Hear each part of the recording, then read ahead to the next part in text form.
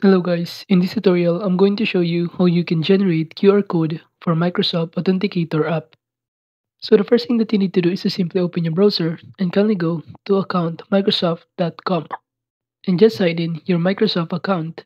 Then you will be directed on this page and from here just scroll down until you find the security option. So kindly click on it, then just click the security dashboard in which upon clicking on it, you will be directed on this page. And below here, it will show you a lot of options such as sign-in activity, password security, but just click this advanced security options by clicking get started. From here, the next thing that you need to do is to simply click add a new way to sign in or verify since we're going to generate QR code to use for Microsoft Authenticator app.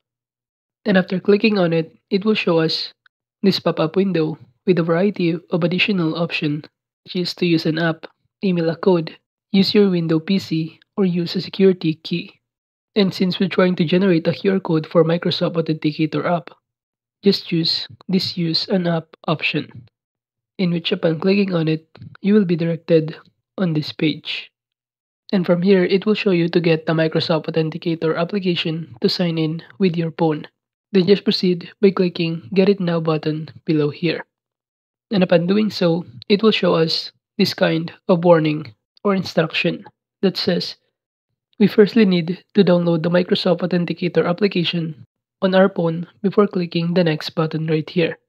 And after downloading the Microsoft Authenticator application and clicking the next, it will show us this QR code that we just generate in order to sign in or to use in our Microsoft Authenticator application. And it will show us below here the step-by-step -step process, which is firstly is to open the Microsoft Authenticator application then just proceed by scanning this QR code to sign in in our Microsoft Authenticator application. So that is just basically how you can generate QR code for Microsoft Authenticator app. So if you think this video was helpful, kindly like this video and don't forget to subscribe to our channel. Thank you.